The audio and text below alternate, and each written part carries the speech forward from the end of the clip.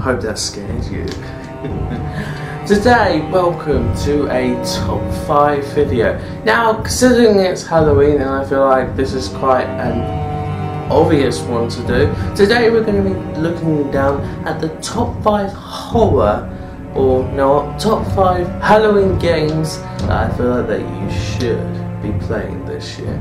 Now, um, for sakes if I've already um, done a little done something like this before. Hopefully I can make it a bit different. I'll just delete the other one.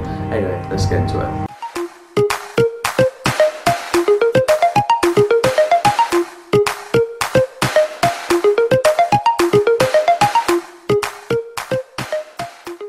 Number 5, Resident Evil 7. Now, I have never played this game. Why? Well, because I'm the un I'm underage, I am. The game is rated 18. You're able to play this on from your um, PlayStation 4, PC, PlayStation VR, Xbox One, and even on your Windows 10 laptop via connection to the Xbox One.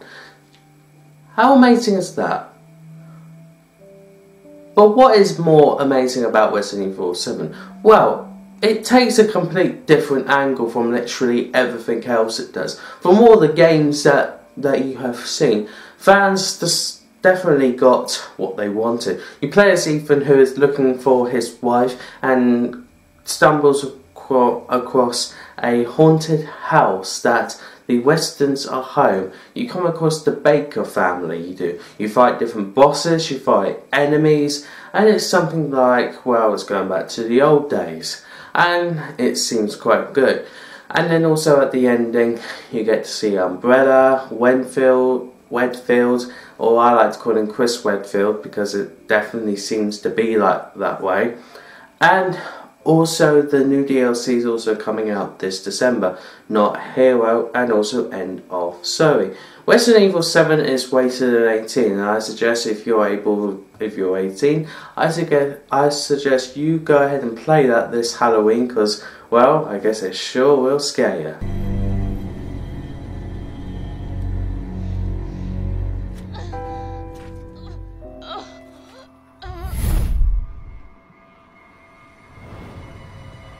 I had to use one of them. There's only one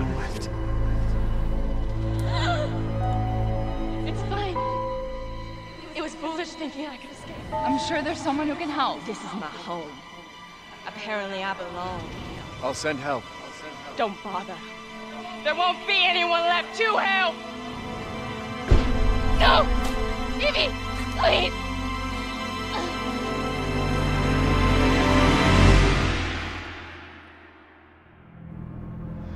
Is it ready? Can we begin?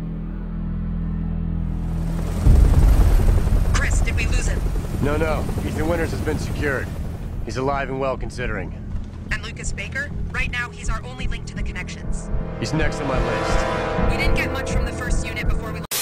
Anyway, how could I not put this on the list? Number four, Friday the 13th. Now, Friday the 13th is a new game that came out this year, and from what I know, it's a game where you can have multiplayer in just one scene and one scene only. But yeah, again, I have not played the game because it's rated 18. I know that the game is on the PlayStation 4, PC, and Xbox One. Friday the 13th takes inspiring from the older Friday the 13th films and plays it well like that. Of course, you get to kill Friday the 13th guy in a way that is confusing. I think I should leave a link to an AV, a cinematic video down below. But um, yeah, Friday the 13th is definitely Friday the 13th. And Friday the 13th is Friday the 13th. That's all I have to say.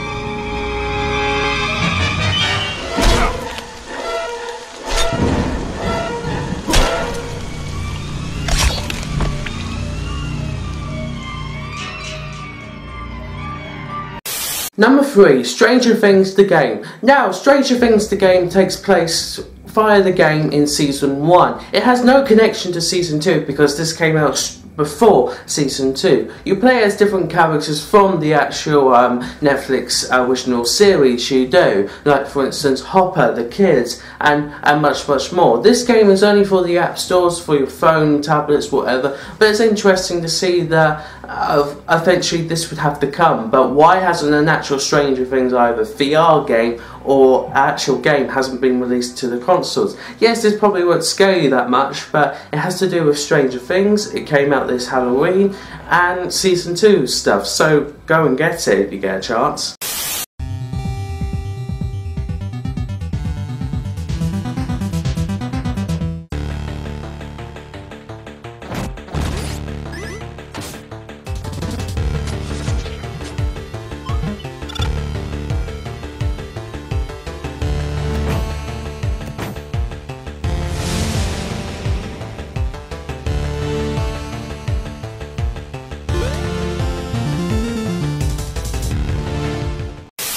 Number two, Outlast. Now, the Outlast series is basically about survival horror, about going around an abandoned building, investigating, battling out ghosts, and just running around from people and trying not to get killed. Now, Outlast has also had some other games like um, Whistleblower and also other DLC and also Outlast 2 that actually came out within this year. Outlast is a game where it's an 18 and if you like weird stuff that's horror and that may creep you out then I suggest well buying this game also. Not being that Resident Evil is the number one horror, I still think that, but it's just well here's Outlast for you.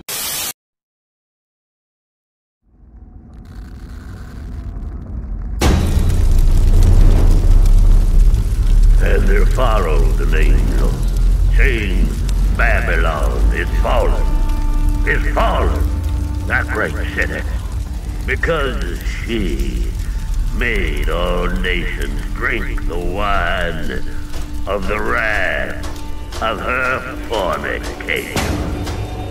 And the smoke of their torment ascends forever and ever. Then I looked, and lo, a lamb stood on the Mount Zion, saying with a loud voice,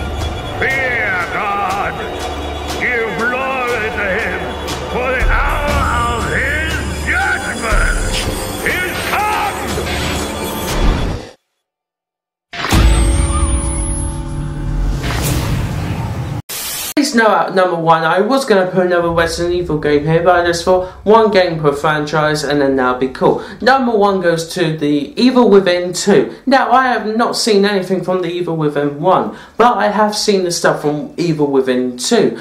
With this one, you go into a world that's actually just in your mind, nothing's really real. Because guess what? You're asleep, you're trying to look for someone, and something's been awoken with some of the original creators from Resident Evil 7, it feels like it, and also going and also watching gameplay videos, it actually looks like it. Monsters are there, and also some creepy stuff, including a kid dying. Yeah, you guys are messed up if you enjoy that stuff, and also much, much more. This game got released this year in a time when not that many games, well, I don't know, wasn't appealing to the under 18s. This game is on the PlayStation 4, the Xbox One, and also on the PC, weighted 18. You have some of the same mechanics and also some stuff inspired from earlier like horror stuff, like that girl with multiple arms and that goes around. Reminds me that one from the Grudge thing. But anyway, Evil Within 2, if you like that game and if you're 18, go ahead and buy it. They took everything I cared about. Everything that mattered. But they've got no idea how far I'll go to bring her home.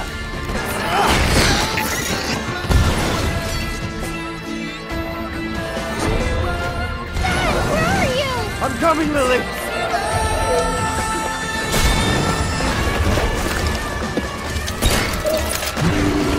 I gotta save her. Rated M for mature.